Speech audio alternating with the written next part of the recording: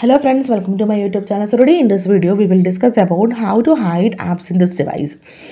So without the third-party application, we can hide apps in this device. I will show you. First, tap and hold on the application that you want to hide. So simply here, I am going to uh, tap and hold this one, Google Play Store. Okay, just tap and hold. Tap on App Info. Then here you can see the option Disable. Tap on this one then tap on the option disable apps. That's it. Now you can see that Go, uh, play store application is not here.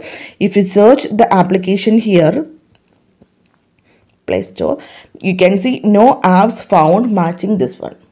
So simply without any third party application you can hide apps in this device so in case if you want to unhide for this go to settings tap on apps and notification tap on see all apps and from this list of application you need to select the application you want to unhide.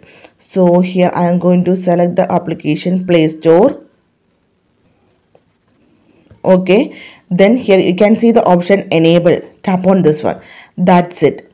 Now go to your drawer mode. You can see google play store is here so simply in this way, without any third-party application, you can hide apps in this device. So hope you guys enjoy this video. Thank you for watching. Thank you. Bye-bye.